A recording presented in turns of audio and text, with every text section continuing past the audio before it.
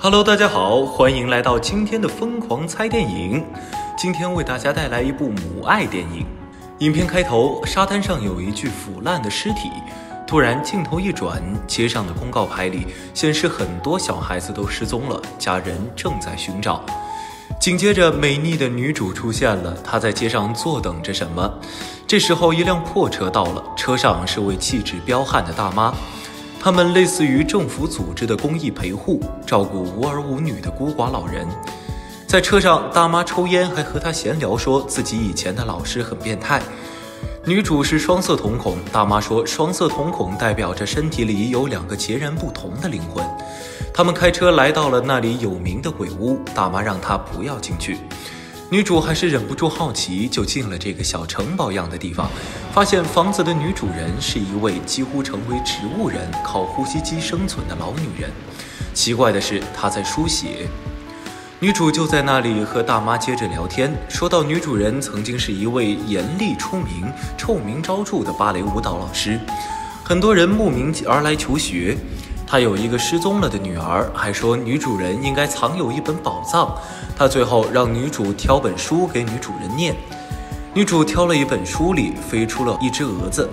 大妈笑着说这是她的选择。大妈开车时看到路上笑得灿烂迷人的小女孩，就跟了上去。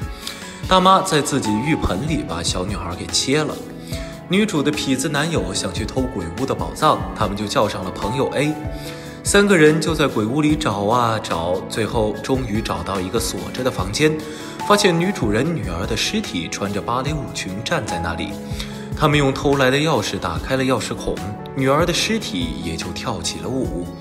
楼上也传来了恐怖的声音，女主人好像要变异了。他们想要逃跑，却发现进来的小窗子上了锁。女主想起来白天来时，女主人卧室里有开着的窗子。于是磨蹭着上去了，女主人果然不见。朋友 A 被三个芭蕾小女鬼弄死，后来男朋友又被女主人弄死。原来女主人和她女儿是吸血鬼，女儿想摆脱母亲变态的束缚，最后被母亲安上了机械，固定在那里。她没死，但也变成了玩偶。女主想跑，却在门口碰到了大妈。原来她也是女主人的学生之一。女主人抓她来是想和自己的女儿交换肉体。女主昏迷前看到妈妈向自己走来，女主醒来了，眼睛的颜色只有了一种。醒来的女儿，她杀了大妈和自己的妈妈，还解救了女主。